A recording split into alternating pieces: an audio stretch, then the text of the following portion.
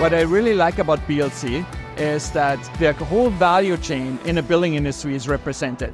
So from the designers to the builders to the investors, the owners and manufacturers, and it's all about implementation. The planet is something we're all responsible for maintaining and improving. So it's a very good conference to share our successes and our mistakes and failures so that others don't make them. If we think we have a success, we want to be able to highlight that, share with others so they can copy it, they can improve it, and give us lessons learned. The CaGBC also provides a really important advocacy platform for bringing about change within the federal government, the provincial government, and even representing what we do internationally at events like the COP conferences every year attending Building Lasting Change, it's the opportunity of meeting with colleagues, with peers, with partners, and debating on the best ways to adapt and transition together.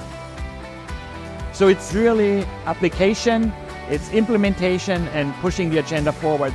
This is really about Canada, it's about decarbonizing, and you're exposed to discussion and individuals that make it happen.